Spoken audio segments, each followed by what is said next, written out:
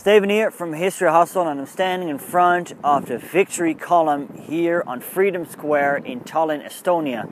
In this video I'm going to talk about the Estonian War of Independence, a war that lasted from 1918 till 1920. Estonia was part of the Russian Empire and at the eve of World War I it was divided into two provinces, Northern Estonia and Southern Livonia.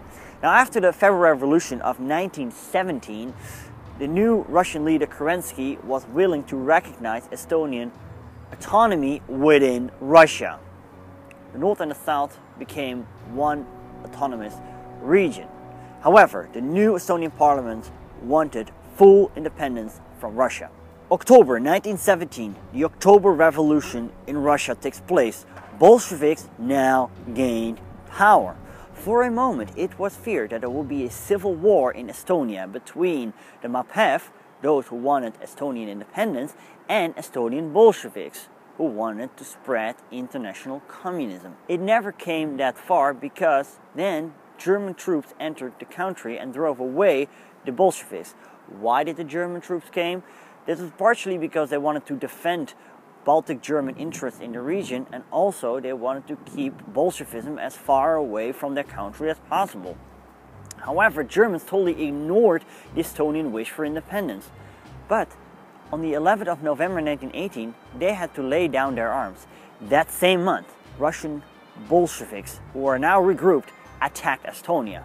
The Estonian army, far in a minority, had to retreat, but this army managed to build itself up by Estonian, Latvian, Baltic German, as well as Finnish volunteers and material aid from Great Britain and France. Also, they worked together with the White Russian movement, who also fought against the Bolsheviks. The Estonian army also fought in Russia and in Latvia.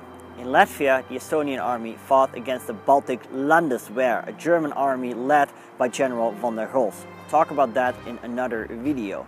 Soviet Russia wanted peace because they had their hands full in their own civil war. However, in December 1919, they did one final attempt to invade Estonia. This operation failed and the Russians suffered many casualties.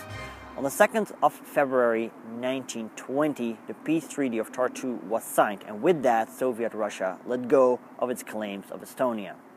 Estonia now became independent.